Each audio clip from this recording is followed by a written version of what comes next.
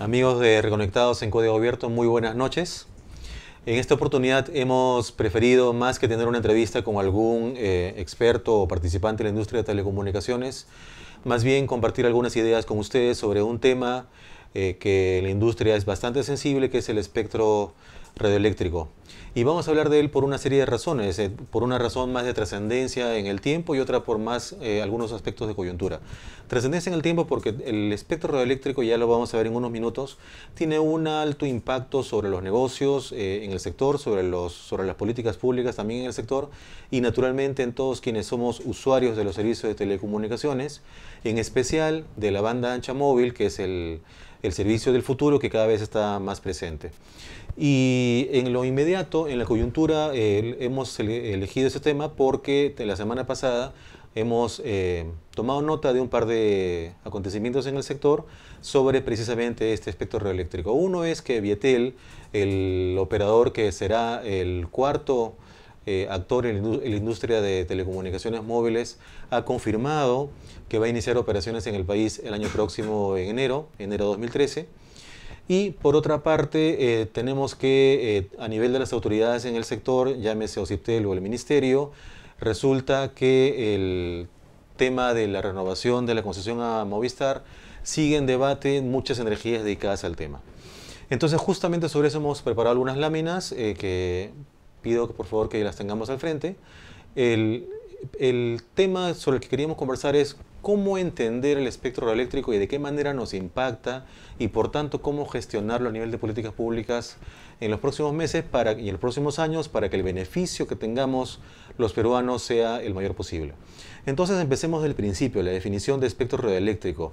El espectro, para empezar, eh, existe una definición técnica que es algo así como un subconjunto de ondas electromagnéticas que van entre las bandas de 9 kHz y 30 GHz, pero esa es una mirada técnica, una mirada del punto de vista, decíamos hace un momento, de negocios, de políticas públicas y de usuarios, es que el espectro es un recurso escaso que es utilizado como un insumo para eh, poder contar con servicios de telecomunicaciones inalámbricas.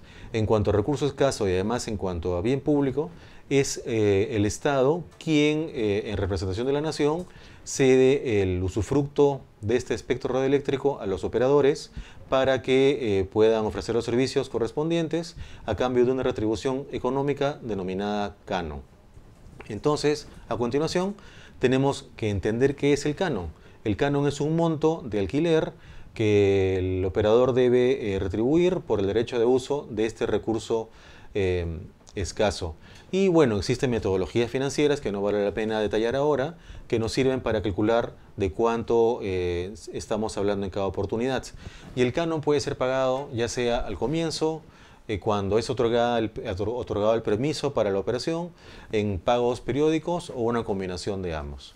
Entonces, siendo esos los conceptos, tenemos a continuación que eh, mencionar de manera simple que en buena cuenta, cuando hablamos de esa valorización del espectro, cuánto es lo que un operador debe pagar, eh, tenemos que simplemente la ecuación consiste en restar los ingresos que puede obtener un operador por el uso del espectro de los costos que esta generación de servicios le, le requiere. Entonces, ingresos menos costos, ese es el valor del espectro en buena cuenta. Entonces, si vamos al caso que mencionábamos hace un momento de la renovación de Movistar, tenemos dos situaciones muy distintas entre un caso como ese, renovación, versus un operador entrante, es decir, alguien que recién entra al mercado. Un operador muy grande tiene ingresos muy altos porque tiene una posición ganada en el mercado, mientras que sus costos son bajos porque ya tiene toda una infraestructura tendida en el país. Al contrario, un operador nuevo debe eh, contar con ingresos al comienzo muy bajos porque debe trabajar arduamente para ganar una participación en el mercado y a su vez los costos son bastante altos porque debe tener infraestructura. Por tanto, en buena cuenta, el caso de un operador que renueva y el caso de un operador eh, es nuevo en el sector es muy diferente. Por lo tanto, podemos ver en una lámina siguiente que eh, cuánto debe ser el valor de una renovación de una concesión. La respuesta es muy simple, debe ser muy alto, porque mientras más es el tamaño del operador que renueva, más es el valor que tiene para su negocio la concesión o la asignación de las bandas de espectro radioeléctrico. De esa manera, podemos afirmar que las experiencias con operadores nuevos o los montos que un operador nuevo paga por el espectro no son ni de lejos un punto de referencia para lo que debe pagar un operador que renueva. Por lo tanto, lo que vemos a continuación es que si esos conceptos los tenemos claros, si pasamos a la lámina siguiente, tenemos que para un operador renovante el valor de la renovación será alto, mientras que para un operador entrante será bajo. Y decimos esto porque puesto en números, eh, podemos recordar que Vietel, el cuarto operador móvil, pagó el año 2011 por la concesión un monto de 28 millones de dólares. Entonces el concepto que queremos transmitir es que la renovación tiene que ser de manera muy natural por un monto mucho mayor. ¿Cuánto mayor? Ya habría que eh, recurrir a metodologías financieras que conocemos al respecto, pero sobre las cuales no, vale la pena detallar porque no contamos con toda la información que la autoridad seguramente sí eh, dispone.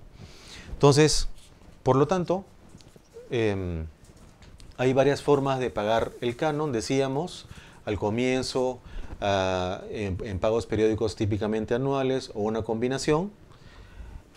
Lo que podemos decir es que como concepto, en la lámina siguiente, ¿cuál es la que más le conviene al Estado peruano o, los, o a los ciudadanos peruanos? La respuesta es nos da igual. Lo importante es que exista un reconocimiento de ese valor y que, salvando las consideraciones financieras correspondientes, eh, ese canon sea pagado bajo cualquiera de las modalidades. Entonces todo esto nos sirve como antesala para lo siguiente, que es mencionar que la demanda por banda ancha en el país crece mucho. Tenemos una gráfica ahí que muestra cómo está ocurriendo el tema en el mundo y eso ocurre de manera muy transversal en todos los países. Entonces tenemos que plantearnos qué hacer con la mayor necesidad de espectro a futuro si eh, le vamos a eh, otorgar al más espectro a los operadores que ya están establecidos o si vamos a buscar espectro para operadores nuevos. Nuestra respuesta, que es lo que tenemos a continuación, es que para ambos, pero empezando por los operadores nuevos. ¿Por qué? Porque, y lo vamos a ver en un minuto, las nuevas tecnologías que cuyo nombre se resume con el calificativo de 4G ofrecen una oportunidad enorme para más servicios y más competencia. Entonces, primero los operadores entrantes y luego los operadores establecidos. En ese sentido, lo que podemos ver a continuación es que existe la tecnología, decíamos, 4G, que lleva el nombre de LTE, y esto se ha venido desplegando progresivamente en diferentes partes del mundo. Lo importante es que en la región ya ha llegado y no solamente a los mercados más grandes, que son los que conocemos de siempre, Brasil, Argentina o México, sino eh, países más cercanos y que comporten más afinidades con Perú, que son por ejemplo Chile o Colombia.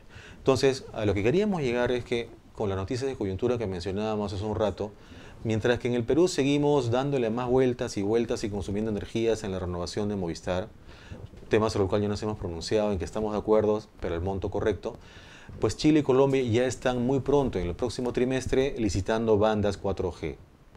4G es muy diferente al 3G que conocemos hoy día y para, citar para ilustrar la diferencia entre ambos es como si hace un siglo le preguntábamos a una persona cuál es la diferencia entre una carroza y un automóvil. La respuesta ciertamente no es más velocidad, sino que la, la diferencia en velocidad tiene una una magnitud tal que ya no solamente es cuantitativamente más velocidad, sino una serie de funcionalidades mucho más amplias que antes.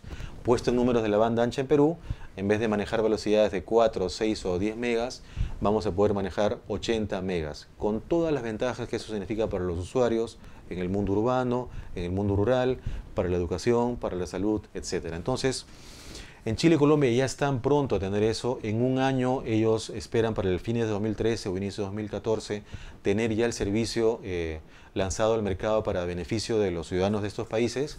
En Perú seguimos hablando de eh, la renovación de Movistar y como vemos a continuación, seguimos en 3G y más adelante podemos ver en una lámina siguiente respecto a las bandas específicas para 4G, que es lo importante, tenemos tres tipos de bandas.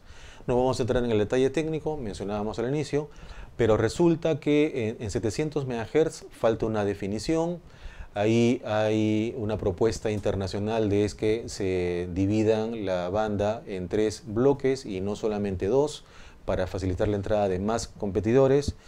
En una lámina siguiente podemos ver que para el caso de la frecuencia de 1700 eh, eh, MHz, también en Colombia y en Chile ya han decidido separarlo en tres bloques, mientras que en Perú está dividido solamente en dos bloques vaya uno a saber por qué, pero digamos claramente tres bloques permite que entren tres operadores, y lo cual ayuda a la competencia. Y por último, en la siguiente banda, que es la de 2,5, tenemos realmente una asignación bastante desordenada. Colombia y Chile están muy ordenados con dos o tres bloques, perdón, tres bloques en cada caso. En Perú está muy fraccionado en una serie de operadores, lo cual nos lleva a la pregunta que planteamos en la lámina, que es, ¿qué hacemos? ¿O una reversión para el Estado para que lo pueda reordenar? ¿O un refarming, que es eh, un término que puede ser traducido como un reordenamiento de todas estas bandas? Entonces, en conclusión, lo que queríamos mencionar es sobre el tema que venimos hablando ya los meses previos, demasiados meses quizás, la renovación de Telefónica, deberíamos resolverlo. Está muy claro para todos quienes estamos en el sector de que el valor de la renovación tiene que ser muy alto como un reconocimiento del valor que le genera el espectro al operador renovante y a futuro deberíamos rápidamente ponernos al día y, empezar a tomar decisiones a nivel de las autoridades sobre qué hacer con las bandas que deben ser utilizadas para 4G, para que todo el crecimiento económico que venimos teniendo como país en los últimos años, pues no sea un aspecto insuficiente, sino que sea un perfecto marco para eh, facilitar el desarrollo del sector, tanto en tamaño como eh, mencionábamos también hace un momento, en un gran déficit que tenemos, no solamente de cobertura, sino de competencia. Perú es el mercado más concentrado en América Latina,